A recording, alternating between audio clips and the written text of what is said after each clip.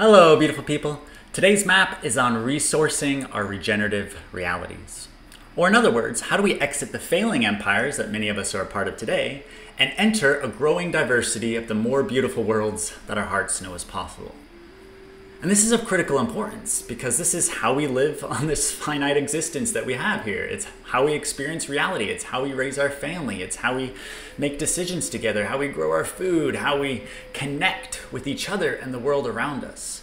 And currently, a lot of that is mediated by the civilizations that we were born into. So, I kind of skipped a lot because this is part of a much larger series that gives a lot more context and a lot more background to what's going on here. But I felt like it was really important to put out this episode right now because too many projects are stuck in this phase where they're waiting for money's permission to get started. So I wanted to skip ahead. But if you love all of this stuff and you really want to get more into this, feel free to subscribe and we'll be putting out more and more episodes and more in this series explaining a lot more about how we can create new types of civilizations, economic systems, financial systems, governance systems, and all of these things that we just like to call infinite games. Or in other words, how do humans come together to create new forms of reality together? So, without any further ado, I'm going to give an example of what it looks like to start an eco-village. But you could really use this process to do anything. Any group of humans coming together to create a new type of reality together can go through this same process to do so. So what does it look like today? Today it looks like a group of humans coming together and having this beautiful vision. They're like, yes, we want to start an eco-village. It's going to cost us this much money all right, now we got to go find investors. So that's typically where a lot of projects that I'm connecting with today are stopped at is they have a beautiful vision that they're imagining. And right here, you see an example of an eco village, a really popular one called Findhorn. Um, and a lot of projects are sitting around waiting for money's permission to get started. So this video is on breaking that down and saying we don't actually need money's permission to get started building our projects. And how and why is that so? So what I'm going to introduce here today is this concept called crowd pooling. And it's a way of starting what we like to call infinite games, which you can think of this eco village that's presented here as an infinite game. A group of humans came together to play a different type of game, to participate in a different type of reality. And just because I'm calling it a game doesn't mean it's not serious. These things can be very, very serious, but I use the term game in order to help radically simplify how humans can come together and create reality together.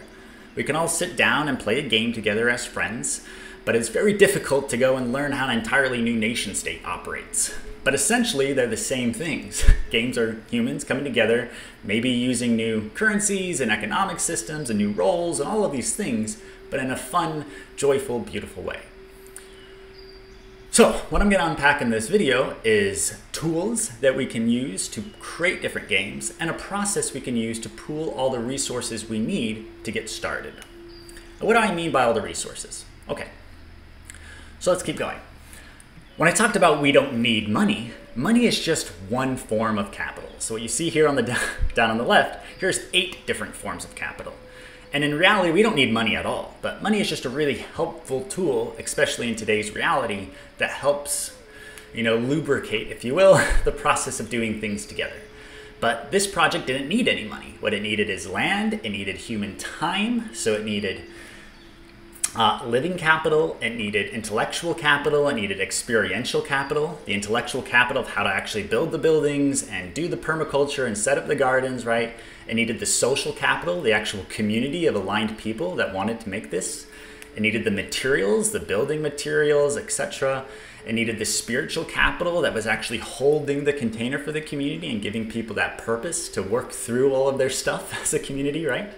Uh, it needed that cultural capital that it's like the glue that holds the community together. It's their songs, their rituals, and all that beauty, right?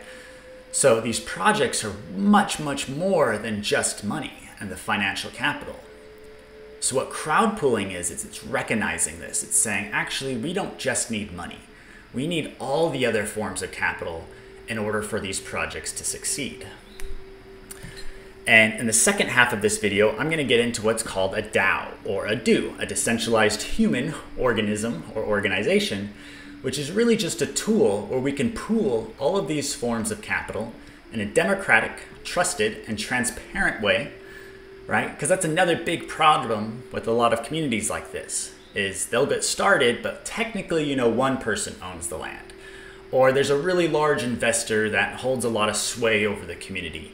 Or all of these challenges where communities are coming together with good faith saying, hey, we're all in this together.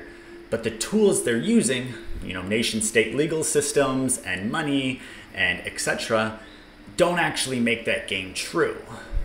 So that ends up being a lot of problems. You know, the person with the land is actually like, you know what, never mind, I don't want to do this anymore. And then all of a sudden everyone's kicked off of it.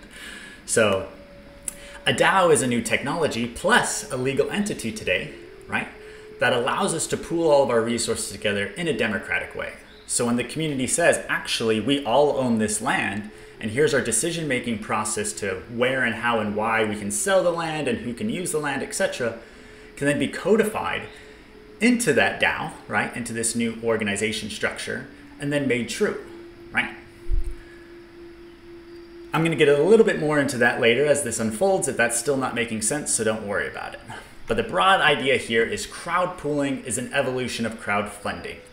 Crowdfunding was just looking at money, while crowd pooling is looking at all the different forms of capital, right? And it's looking at the land and it's looking at the roles. Now, I want to emphasize the land thing just once more, and then I'm going to get an example of a crowd pooling in action for funding an eco-village. And then also just some little hints on how if you're looking at doing a land project like this, how you might get started and how you might create a new economy around that. So stay tuned. Let's keep going.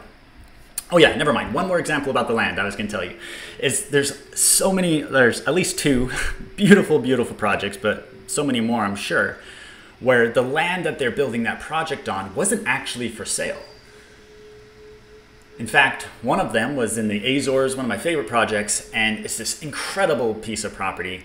And people were trying to buy it for decades, right? But the people who owned it, in their hearts, they knew this property was meant for something. They, they didn't actually need money, so they didn't need to sell it. Uh, but they knew it was meant for something incredibly beautiful. And then this community came to them and they said, hey, we have this vision for this awesome community that we want to build here in a retreat, and we're going to heal and all of these beautiful things. And like, yes, this is what the land was for. We want to contribute land to that vision. And that's what crowd pooling can actually unlock as well, is all of that land and all of those resources out there that's not for sale, that wants to get pooled together into a more beautiful vision to help create new types of realities, right? So that's also what this structure is for, is how do we bring that land in? And then the same thing with roles. You know, instead of saying we have to raise all of our money in order to pay builders, like what if you have builders in your community, right? Okay, so let me give you a practical example of this. Here's a process of crowd pooling. So let's say you, as a community, you came together and you said, hey, we were going to do an eco village in order to get started and build the community center and do all of our basic infrastructure, buy the land, etc., etc. We need to raise $990,000, which is what you have up here. So then you reach out to your community and you say, we need to raise this much money. You do your crowdfunding process and oops, you only came up with 555,000, which is what you see here. You have the families of your community on the left, just as examples, and the money the financial capital that those families were able to come up with. As I'm sure many of you realize, not a lot of people have a lot of money just sitting around, right? So this is a really big challenge today, especially if the global economies are entering into a recession where there's even less money that people have, to, you know, to go around. Um, but what's really powerful with a crowd pooling process is we're not just looking at, you know, nation state currency. What you see here is an examples of different types of financial capital. So you might have Bitcoin, you might have Ethereum, you might have you know, some US dollar stable coins, you might have dollars, and etc. So it's all the different forms of financial capital. But still, they were only able to come up with 555,000 of it. Okay, but let's keep going with the crowd pooling process. So you said, okay, well, we're not just looking for money, we're actually looking for everything else we need. So someone in the community is like, hey, well, I actually have land. I have the 10 hectares of land we're looking for. So what if I contribute that, right? and that's worth 300,000. So instead of raising that 300,000 as cash, now someone can contribute the land. So what you see here is you don't need that 990K anymore. Now you only need 690K, right? So the amount you needed to raise is going down.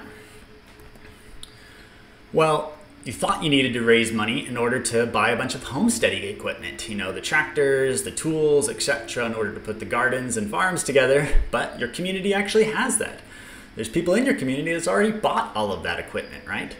Um, you thought you needed to buy building equipment, but there's community people in your community that already has that. Same thing with you know forest management tools, etc.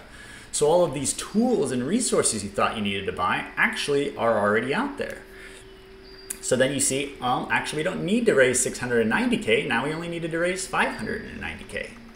So the amount you thought you needed to raise can start going down as the community starts bringing the other forms of resources needed. And here's something that's, I think, would be standard in any project getting started, is this idea of a community material library. Now, you know, I'm living in a developed nation right now, but there is so much stuff. There's, you know, storage units upon storage units everywhere. We're just taking up so much land to store all the crap we have, massive houses with so much stuff. But I know a lot of projects that are getting started, people are wanting to downsize and minimize, you know. We don't want to own all of these things that are overwhelming our lives. We just want access to it. So another really powerful tool for communities is this idea of a community library. As we're pooling all of our resources together, what's all the rest of the stuff that we have? You know, maybe in your community you already have 20 hammers. Do you need 20 hammers? Probably not. Maybe you only need five hammers in your community. So what you can do is you can put all of those hammers in a community library and sell your excess. And then your excess that you're selling could actually be part of the financial capital your community is raising. But then people can contribute all of these other forms of capital, right? All the materials and items that we have that could be useful in the community. Another really big example of that is cars. So if you're doing an eco village, for example, and you're planning on having everything walkable in your village, well then maybe not every family needs a car anymore. So you could start selling all your family cars and maybe have a few community cars, right? And people can contribute their cars. So say one of the people in your community has an electric car. Great, that's something you can contribute. Right, so this is what's all the other forms of capital that's available in our community. All right, let's keep going. Now, so that's the, the physical capital is in this aisle. The other capital is the committed capital. So this is coming in the form of time and expertise. So we thought up front that we needed to raise money in order to pay a natural builder to build the community center. But it turns out there's a natural builder in our community. He's the same one with all that building equipment, right? Um, and he's willing to commit 20 hours a week for the next 184 weeks, if you will, in order to start building stuff in the community which is worth $110,000 that you thought you needed to raise as a community. Okay, so now you see it as it's ticked down. Now you thought you needed to raise 990K to get started, but now you only need 480K because of all the other forms of capital your community was able to bring in. So now you've raised 555K, which is more than the 480K that you need now. But you got so much more. Now you got the community permaculturist who's going to come in and start putting in food forests. You got professional yoga instruction for the community every day. You've got a community naturopath who wants to come in, a horticulturist, etc. So now you're really, really unlocking all of the value that's in your community. And people can start contributing different forms of capital for that, right?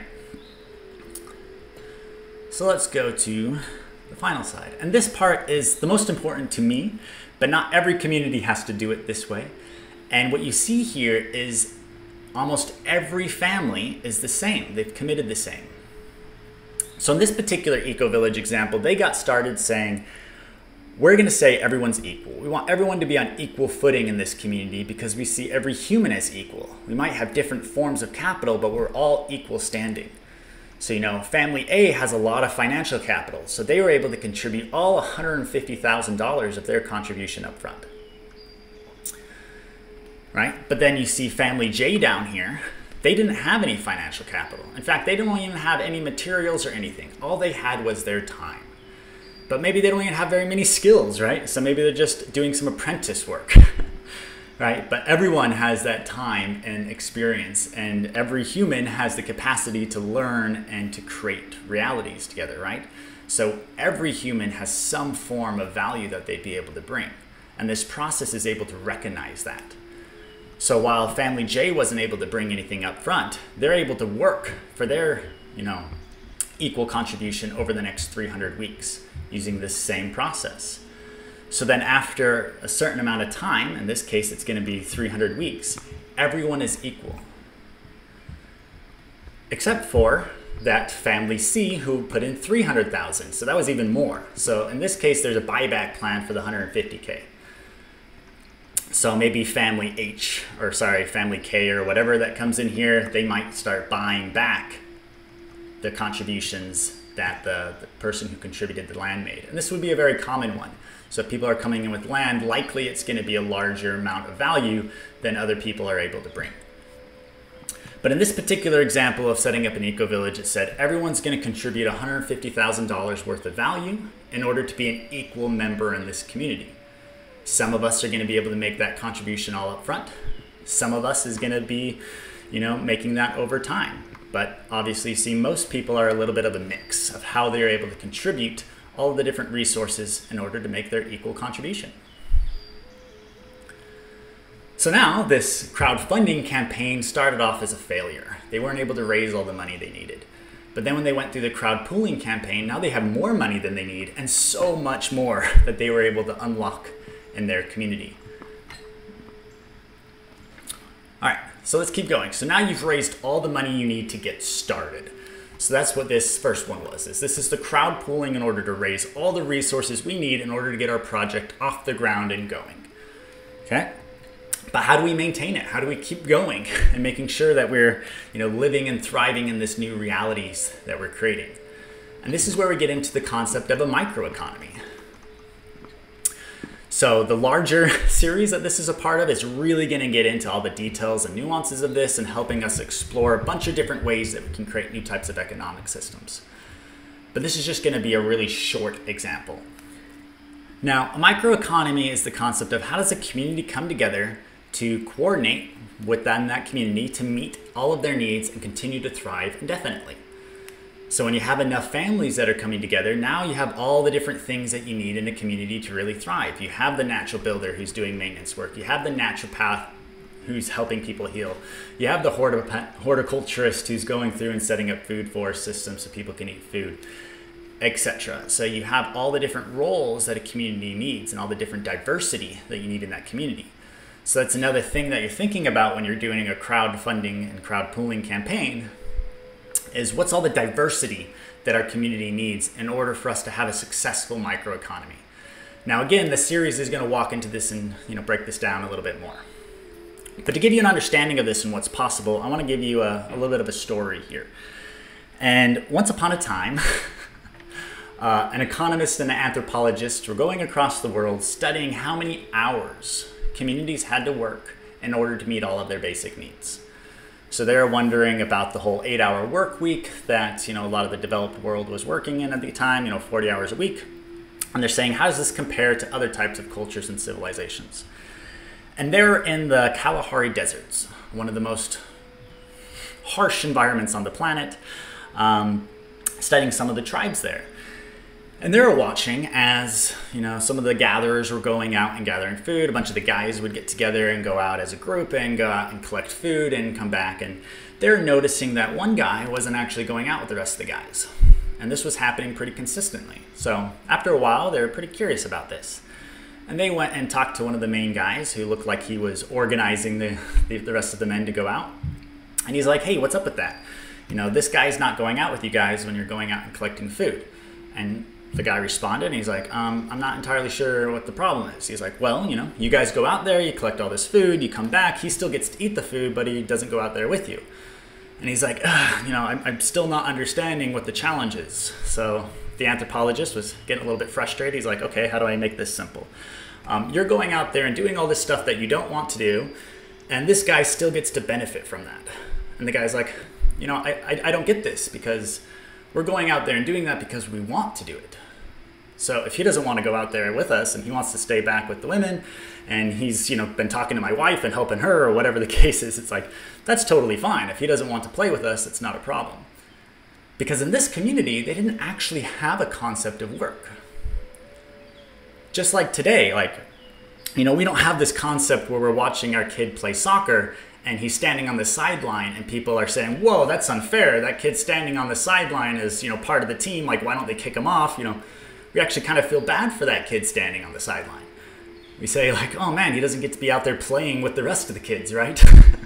so their concept of going out there and gathering food and going out into the wild and doing this stuff to meet their needs to them was just play. It's their reality. It's what they were doing. And it was for pleasure. So in this community, they didn't have this concept of doing something you didn't want to do in order to meet your needs. So the thing that really, really blew my mind with this example, though, is the result of that is this community was working around three to five hours a day. And it wasn't work, like I was saying, it was play. In the harshest environment on the planet. And this comes from Wikipedia, right? So you can look it up. And I'm not entirely sure how to pronounce the Kung, um, or the Hadza. Um, but it's these two communities that, on average, were working three to five hours per day in the harshest climate on the planet to meet all of their basic needs. And they didn't even consider it work. so, you know, in our advanced societies, with all of our technology and knowledge about how we can meet our needs, how might we redesign our economies, right? And I wanted to give this example because this is such a stark contrast to what we think needs to happen. Whew. All right. Um, and this one, this one, when I read this, I'm just like, wow. And this was one of the first things that really got me started on this whole journey of creating regenerative economic systems and models. Is like, if these communities can do that, what could we do? And not saying we're better or anything like that. I'm saying if that's possible, what else is possible? So that's what we're really trying to do with the microeconomy and certainly what the larger you know series is going to unfold is what are the patterns? What are the structures? What are the games if you will where we can come together and meet all of our needs and thrive and create entirely new realities without this whole concept of doing something we don't want to do for 40 hours a week right? So when we really get into this you see the committed capital which is the amount people are bringing up front how much they pooled. So you see everyone's 150K here. Um, and then the next piece that any community might bring is there's additional contributions that every family brings each week. And this is an example. Every community can do this differently, right? So in this particular example, they're saying we need eight hours a week. And with eight hours a week of contribution time, then we're going to be able to meet all of our needs as a community. Now, some families who have a lot of money, maybe they're just paying for that time instead of actually working. So this particular family is paying about $20 an hour for five hours and then still working three hours a week because they enjoy it. Maybe they're retired and three hours a week is still a lot for them, you know, so that's what they're doing. All the way down to the bottom where that community role is putting in, you know, eight hours a week. But then you still see this particular member, Family J, right?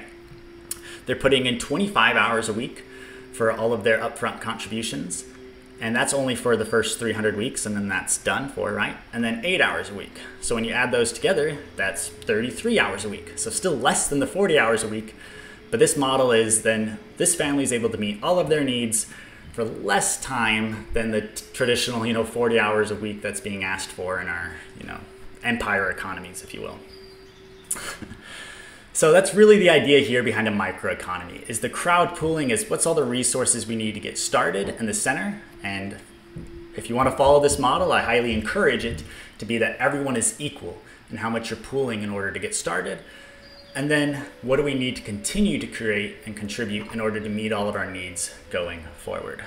All right, so in this, there's all of these are tokens. So that's the tool I'm about to dive in and show you is when we're having a contribution, you're getting a token back out.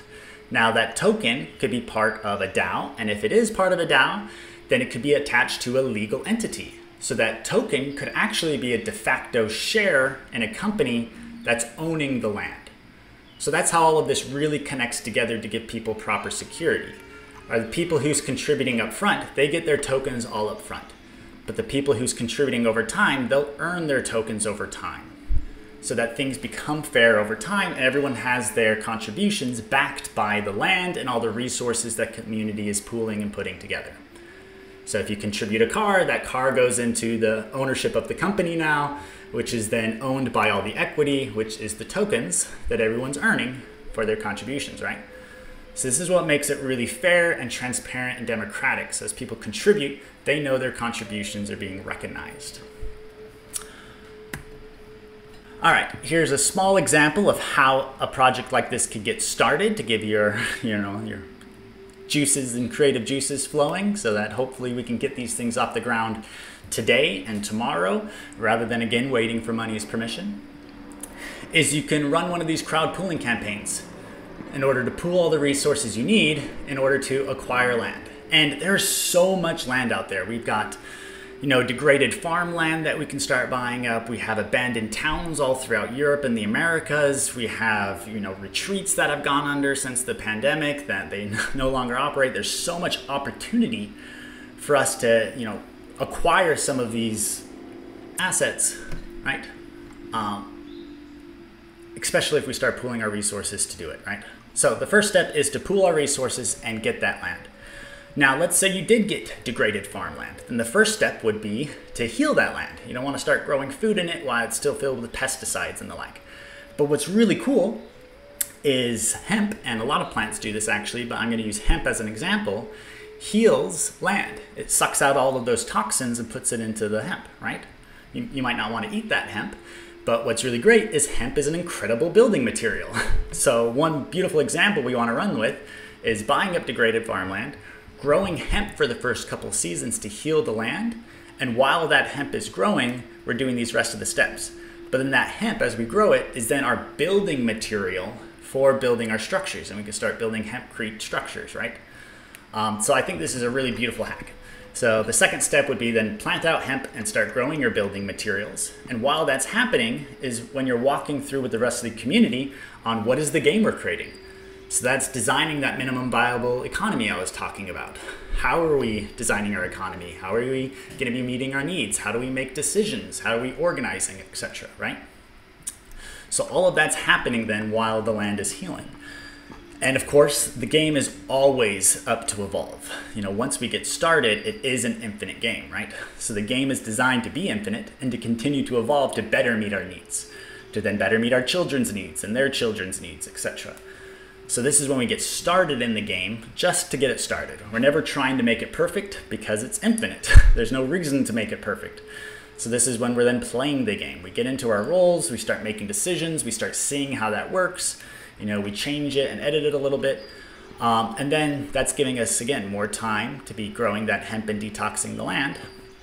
And then when we're ready, we actually move in and play the game. And then the permaculturists start growing food and food forests and all of that fun stuff. We start building our houses together as a community, etc. So this example was an eco village and how we can, you know, move in together to create a different type of reality as far as a village is concerned. But as you can see, this crowd pooling concept can work for really anything, where a group of humans are trying to come together with a diversity of resources in order to accomplish something. All right, so let me dive now into the tool that we've developed for this purpose. So I'll give you an example here. All right, so this is our DAO network, so a bunch of organizations like this. Um, there's a whole lot of them doing a whole lot of different things. All this is just groups of humans doing anything that groups of humans can be coming together to do. Um, if you go down into the show notes, you can see a link to this and you can explore some of these DAOs and DHO's. Um, and if you would like to create one, there's also another link in there for you to apply to set up one of your own. But let me walk you through an example one that I've been working on here. It's called the campus. Um, this particular structure, it's not quite an eco-village, it kind of is, but this campus is designed to coordinate a bioregion. So it's thinking in terms of a bioregion, and it's the, the center of it to help coordinate the regeneration of that whole bioregion. So it's part eco-village where people are living there in an ecological way, but it's also part education center, university, learning laboratory, and so much more. But anyway, I'm going to walk you through what it might look like here. So you see there's only three members, and I highly encourage um, every project getting started to not have more than seven as the catalyst team. So this is the group who's holding the vision, and they say, yep, this is what we're trying to create and manifest. This is the vision we're holding. And then they're the ones that are approving all of the contributions. Because when you're doing a crowd pooling campaign, you're not just accepting anything, right? Um, so maybe that wasn't clear, but it's not like the first person to say, yeah, I have land. You're just like, yep, okay, you've brought land, we have to take that. Everything comes in the form of a proposal. So let me go over to the proposal section right here, and you see a bunch of example proposals. So I was walking through all of those different contributions people can make. This is how they might make it. Okay, you're bringing cash, then cash becomes a proposal. So this contribution saying, hey, I've got $100,000 cash, you know? So as a Catalyst team, and this is right now, it's uh, it's staging. So as a proposal comes up, first it comes up as a staging proposal, so it's not quite ready to vote on yet. It's just a suggestion. So this is me saying, hey, I want to bring 100,000 cash. And then the Catalyst team can come in here and say, hey, you know, tell us more about yourself. Or whatever the case is. Like, you know, you can ask all the questions you want in order to say, yep, we're ready for you to actually publish that proposal, and then we can actually vote on it. So you see some of the different contributions sitting here, you know, like the homesteading equipment example or the yoga facilitator. But let me walk you through actually making a proposal. So as people want to contribute to your crowd fund pooling campaign, I keep wanting to say funding, but of course we're crowd pooling here. You come here and you would click new proposal. Um, there's a lot of different types of proposals, but don't worry about all that yet. Uh, we're just going to be doing contributions because that's all the crowd pooling is to begin with. And the roles for those recurring assignments. So if you're going to be a yoga facilitator or a homesteader, you know, home sorry, a permaculturist or a builder or any of those things, those would be roles in the community. Okay? And we'll get into quests and badges and stuff and all policies and all this other stuff in the larger series that we're going to be diving into. But for the crowd pooling concept, it would be a contribution. so this is what you're contributing. Let's say uh, electric car. Now, I'm fully aware electric cars are definitely not a solution. The solution is descaling, which is what this is really all about. It's pooling those resources together, selling the excess. You got 10 families, you got 10 cars, don't need 10 cars, maybe you need three for your community, sell the other seven, that's more financial capital for your community, right? But everyone can then contribute their car. So you can put it in here, my car is you know, XYZ model, blah, blah, blah, blah, blah. Take a picture of it or whatever you want to do. Then the next step is what is the dollar value of that contribution, right? So let's say it's worth 35,000. So the idea behind deferred and upfront, that's these pro, um, these tools have the ability to pay either cash equivalents or equity or tokens. Not every token is an equity. You know, some tokens could be anything. Maybe some is just a acknowledging a contribution. Maybe you're a nonprofit and it's just recognizing that you've donated to a nonprofit. You know, a token is just that. It's just a token. It can be made anything. But if you connect your DAO to a legal entity, which there'll be more videos on later, um, then it could be de facto equity in the company, right? So if you're doing all equity, then you would defer 100% of it. So this slider lets you decide between how much is going to be in that utility token, you know, i.e. equity in this example, or cash token, i.e. dollars out of a bank account or crypto out of a crypto account or something like that, right? Um, you also have the ability to do custom compensation. So that's what I'm actually going to do here. We're going to do custom because we're not going to give out any voice tokens just yet. In this community, um, everyone's got the same number of voice, so we're just going to say zero for this, and we'll get more into voice and these details later. But in this example, we're saying we're pooling all of our resources and we just want to give utility tokens one for one to the dollar value. So then I'm going to type in 35,000 here. They're not getting any cash for their car. So that's it. They're putting in $35,000 worth of a car and getting 35,000 tokens for it. So then that would be the proposal. So I would publish it to staging and I haven't connected my wallet right now, so I will do that later. But that's generally the idea. So then after you would publish it, it would come up here as a staging proposal. People could then comment on it, And then once you as a Catalyst team, you're like, yep, we want to accept that proposal, then it can go up for voting. Uh, and let me take you to a DAO that has things being voted on right now so you can see what that might look like. Uh, here we go. Here's some active proposals for a community that's got stuff up. And you can see there's people voting on it. You can see how they're voting. You can see some comments on it. People have talked about it. Um, and then you can see if it's reached the threshold in order for that vote to pass. In this case, they're both green, so it is. And how do we know what the threshold is? You can come back to proposals, and it says it right here. Unity 80%, which means 80% of the votes need to be in favor of it. Quorum 20%, which means 20% of the voice of the community needs to show up and actually vote on it. So 80% needs to be in favor, 20% needs to show up. And in this case, you have 50% showing up and 100% in favor, so it's passing. This one's 100%, 35. And every community gets to set this. So let me go back to our example one. Um, okay, it's not letting me just go back. Let me do this. Take us back to here. Okay. So when you come up to the settings, if you're part of the Catalyst team, which I am, then you can decide what that voting structure is. So we want it to be pretty high unity. We're close to consensus. We feel like if anyone's voting down as part of the Catalyst team, there's probably a pretty good reason. So we're basically 100%. Uh, we don't do entirely 100 for some reasons, you know, we don't need to get into that too much. Uh, and then really very low quorum, like as long as one person's showing up and saying, yes, we trust that. So that's the, the standards we set, but every project gets to set whatever they want, right? So really powerful here. So I come back to the proposals. That's how you do your crowd pooling campaign. Is people would make their proposals of what they would like to contribute. The Catalyst team would go through and accept their different proposals. That would then issue out tokens for all of those contributions, right? And that's pretty much it. And then after then you've done all the, the generic contributions, that's where the roles come in. So I'll just do one more on the roles. So you have a, a role here. So I have a couple roles already in here. We have the natural builder, we have the water restorer who's gonna go through and clean up our waterways, we have a healer, we have a food forester, etc. So every project then gets to create all the different roles that they have available. So as a Catalyst team, that's what you're doing. You're coming in and saying, hey, this is our project, here's the roles that we're looking for. So then as you go out there in the campaign and you're telling people about it, then people can show up and be like, hey, you know, I want to apply for the food forester role.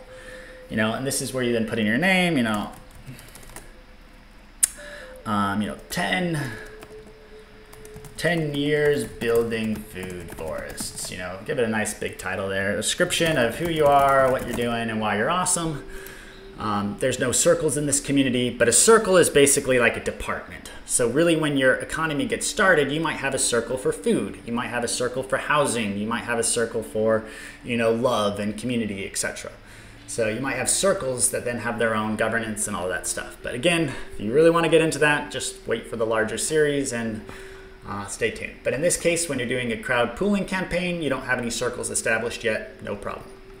So then people are applying for that role. You put in the start date of when you want to get started. We're not accepting any um, proposals right now, so there is no start date. So I'm not even probably going to be able to finish this, but let me just walk you through. And then you choose your commitment level. So in this case, the Catalyst team set this role at $150,000 US equivalent a year for full time. So I get to choose what commitment level I'm at. Am I full time? In this case, full time is 40 hours a week, but none of those examples in the crowd pooling campaign were 40 hours a week. So maybe I'm going to give 20 hours a week, which will be 50% of my time. And since it's a crowd pooling campaign where I'm taking everything in equity, I'm going to defer 100% again.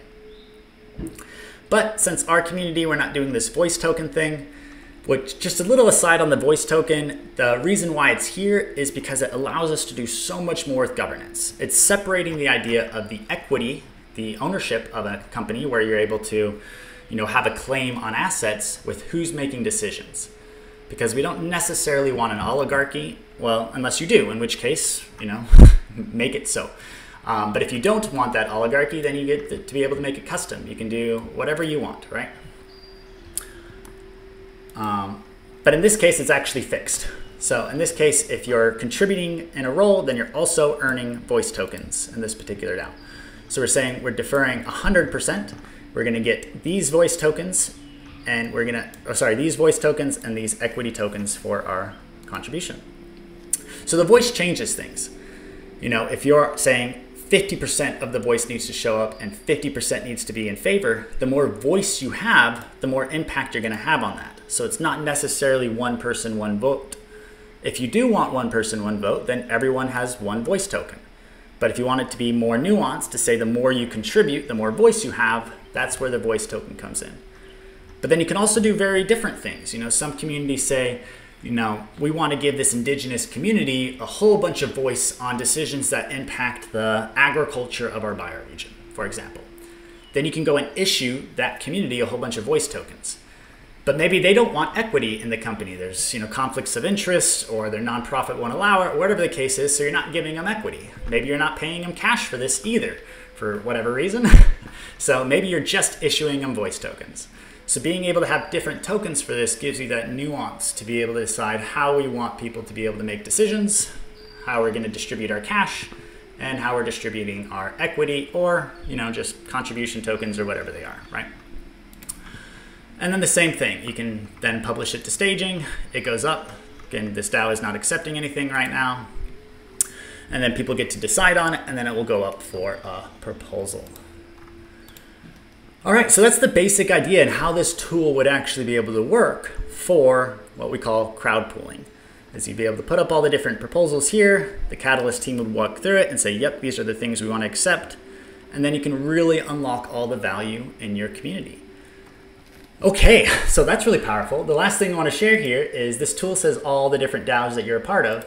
So as we get all of these different villages and games started, we can now start cross-pollinating a lot easier. As some DAOs start figuring out roles that really work and economies that really work for them, we can come and learn from them. We can come into their DAO and say, hey, you know, what's going on in this DAO? What roles do they have? You know, so I can come in here and I can look at their proposals. I can see how they're making decisions. I can look at their entire history. They've gone through 1,083 proposals. So I can learn quite a bit from this DAO probably. I could come in here and say, okay, what roles do they have? You know, I don't know any roles to make, so I can come and see what roles. Oh, wow, this community actually has a ton of different roles. right? So you can learn a lot from each other. But then also, as we start playing this game, we can start moving from one village to another a lot easier, one project to another, one organization. And it's all happening in the same kind of interface here. So you can come to your profile here, and you can see all the different DAOs here we go. Let me sign in to get into my profile here.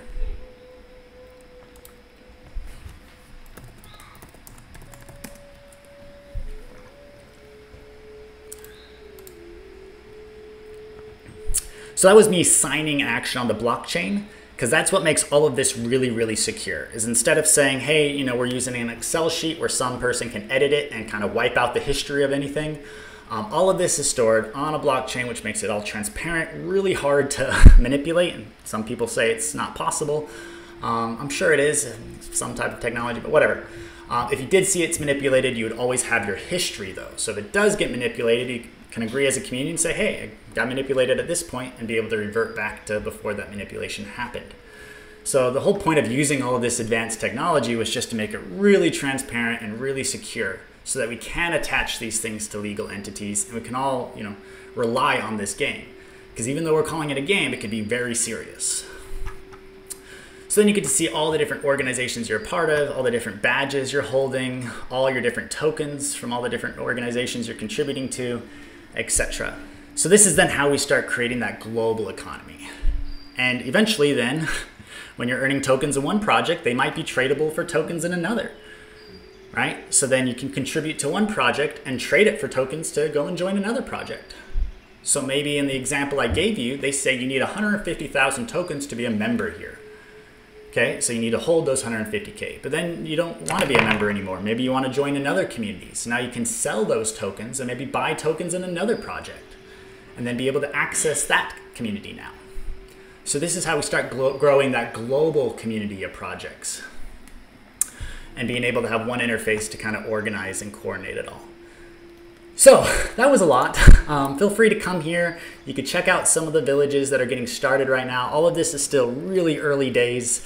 Um, there's still probably a couple bugs going on here, but there's tons of different villages. Let me see if I can find one like Starseed Village, an awesome one in Guatemala, Liminal Village in Italy, Starcross in the UK. Um, so there's a bunch of different villages getting started, a whole bunch of different organizations helping villages, like LocalScale. Awesome organization, go to localscale.org, and this is a tool for coordinating bioregions.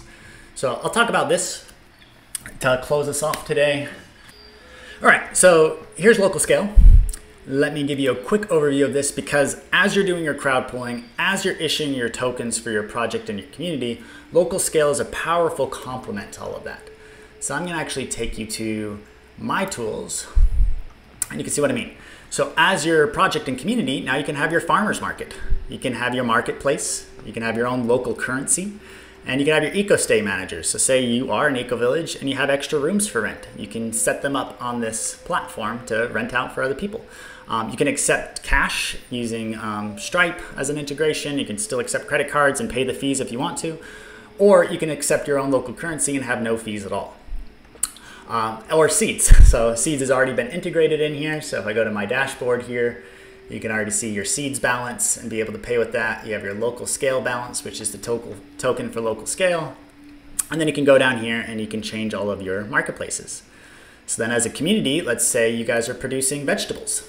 So you can have your vegetable inventory here. You can have your price per unit, you know, whatever it is, so how many cash it is, etc., or how many you have, etc. So this way you can manage all of the things you're selling and have those own tokens. So as you're issuing tokens as a community, like I was showing you, now those tokens can be used within your own community and your own bioregion, etc., for exchanging and trading. So this is a really valuable platform for setting up those local economies too. So between the DAO platform that I just showed you and this LocalScale platform, it's a really powerful combination to be able to set up our own types of economic systems on top of these crowd pooling campaigns. All right, so that's just kind of the tip of the iceberg here. There's another video which you can catch in the show notes that gets way more into LocalScale if you want. And as always, stick around because this was, you know, one slide deck of six. Uh, that's part of this upcoming series that's really going to get into how we can design regenerative economic systems and really opt out of these failing empires and opt into new types of economic systems and realities. So hopefully this was helpful. Um, hopefully this inspires you to um, not wait for money's permission anymore. Because that's the thing that just hurts my heart so much is those who are sitting here with a beautiful vision of a new type of reality they're wanting to create. And they've got that vision they've got the slide deck they've got the website set up and they're sitting around saying okay now we just need permission for money before we can get going because now I've seen so many projects get started without that need. That one that I was telling you that I got an epic product or an epic piece of land, they didn't get, um, they didn't wait. They didn't wait for money to say we needed to buy land. They started telling the story of their community, what they wanted to do, going out there and building that community, pooling resources together. They didn't have the tools that we were sharing just yet because we hadn't built them yet. Um, so that might have made their process a little bit easier. took them many years. Um, so ultimately, what we're really trying to do here is build tools to ease this process. And that's what the rest of the series is going to get into. And yeah, I feel like I've covered a lot today. So I'll leave it at this. Uh, again, hopefully this inspires you to get started building those new realities today and not waiting for money's permission anymore. So, beautiful people, let's get working on that renaissance. Let's go building into those new realities. Uh, I'm really excited for this because I'm still wanting that global networked reality of villages all over the globe for my family to be raised in. I've got a little baby right now, he's growing up fast. Uh, and this is the world I wanted to be birthing him into. So I'm a little impatient. so I'm really excited for this to get going. And hopefully you find this helpful. If you have any questions or if any of this was confusing, please leave those questions and comments in this video and I'll make sure I integrate them when I go through this whole series in more detail.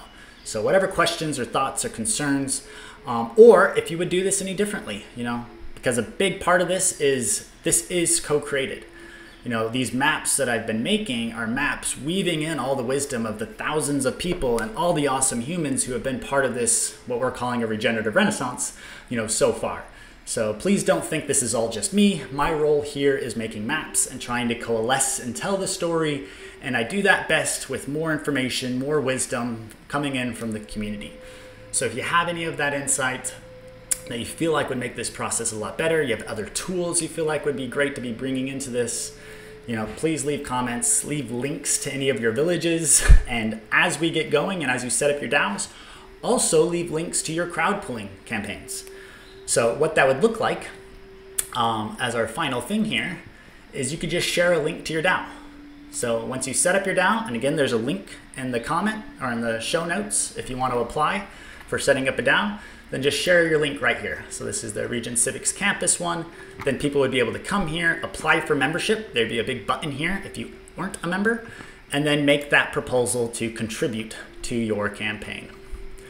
And then the last piece here is that discover more is where they can go to to have a video and telling them about your project, right? And saying what you're looking for and all that stuff. So that discover more can then link to your page, which you then talk about what you're crowd pooling for, what you're trying to accomplish and what you're looking for. So it doesn't take a lot to get started here. Um, and that's really what we encourage is just get started because we're going to learn so much as we get going that I highly encourage us to just get going and we're going to learn along the way. Okay, beautiful people. Hopefully that was helpful. So much love for all of you, and I will see you all around. Hello, beautiful people. Popping in for one last thing because I figured out why my transactions were failing in the demo that I just gave. And I want to make sure that this challenge doesn't happen to anyone else. So what I've done is I've kind of reset everything. So when you come to the DAO for the first time, this is what it looks like. You're a guest. Then you have this login option. So I'm going to show you how to log in using your Seeds account. So if you haven't got a Seeds account yet, I highly recommend getting one. So go to, to any of the Seeds community chats and ask for an invite or connect with whoever told you about Seeds in the movement and get an invite from them. And then when you do, you're going to be able to have a Seeds wallet that looks like this.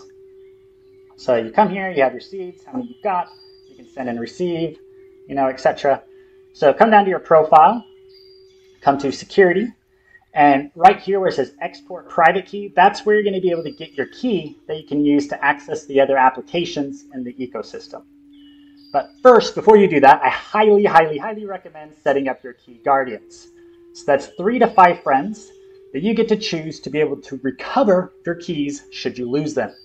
So this gets rid of the horror stories where people are like, oh no, I've lost my keys, I've lost all my tokens.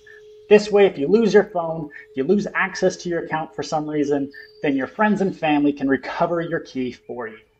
So if you don't have three to four, three to five friends in the community yet, definitely go and make some. You know, invite some of your friends and family in. Whatever you got to do to make sure that you can recover your key. So that's really important. So okay, so now you've clicked export private key and you have it. So when you get the Hypha wallet, and you can go to any of the app stores and get this wallet, no problem you're going to click on the import account, click on that private key option, and then paste your private key into this. And then when you do that, you're going to be able to see your account here. Here's mine. I have a bunch of other accounts associated with this, but you probably won't. You click that. And it's pretty basic, this wallet right now. It just has the scan QR function, and that's what we're going to use to log in. So now when we come back to this dashboard here, you click login, click that login again, click on the Hypha Wallet login option. You see that QR code. Scan it right here. Slide that guy over right there. And now you see that that just worked. And the desktop just reacted. It knows I just signed in. There you go. So now this is how you can start signing all of your actions. When you're doing everything on your phone, it's really easy. It'll just bounce back and forth between the wallet and the app. When you're doing it on your desktop, you can use that scan QR option and scan things. So let me give you another example of it. When I sign into my profile, it's going to want me to scan that QR code. So I click the scan QR code again, see it, slide it, and there you go. So this way your private keys stay on your phone and stay super, super secure. And then if you have that key guardian option set up, you can always recover your keys. We put a lot of time and effort into making sure that it was super secure because we know how important all of this stuff is. So I know it seems a little bit weird having these different apps and having your keys there, but that's the nature of these decentralized systems that are, you know, empowering you is there isn't some company that can recover your account. That means it's entirely yours, just like your actual physical wallet with money in it. Should you lose that, it's, it's kind of a challenge. But again, that's where the key guardians come in because we can actually recover your keys. So please make sure you're setting those up and making sure you're keeping your keys secure. And then how you do that is just don't ever take them off your phone. Once you have your Seeds wallet and your Hypha wallet, you can use those tools to access everything and never give anyone your private key. No one needs that for any reason, so if they're asking for it, definitely don't give it to them. So hopefully that was helpful. We have these two different wallets to use for accessing the, the Seeds ecosystem and all of this stuff. And that should make it so hopefully you don't have transactions failing when you're accessing the do and the DAOs. Um, but should they happen and they should fail, oftentimes just try again, and sometimes it works. Um, that is the nature of building entirely new technology, and this is all cutting edge stuff. So there's still probably going to be some bugs. There's still a lot of kinks to kind of work out, and we're working through all of that and making our way. So hopefully this was helpful and that you don't run into the same challenges I did, and I will see you all around. Cheers.